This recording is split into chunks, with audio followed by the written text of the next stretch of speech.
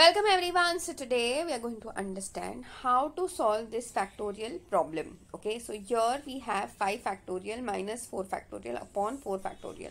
So a lot of people think that whatever what we'll get over here is supposed to be 1, right? But that is incorrect. Okay, so or and a lot of people thought that the answer should be what 1 by 4.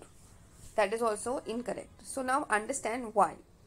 So here what is a factorial? See please understand exclamation mark ahead of any number is understood as a factorial.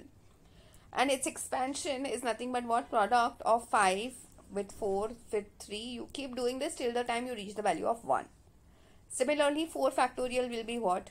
Yes you got it right. 4 into 3 into 2 into 1 now if you look closely this and this is absolutely same so here I can write this 5 factorial as nothing but what 5 multiplied by 4 factorial. Okay, so here instead of 5 factorial I write it as what 5 multiplied by 4 factorial minus 4 factorial upon 4 factorial. So 4 factorial is taken out. I'm left with what 5 minus 1 upon 4 factorial.